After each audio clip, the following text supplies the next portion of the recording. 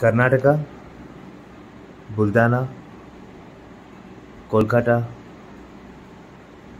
Delhi, Tamil Nadu.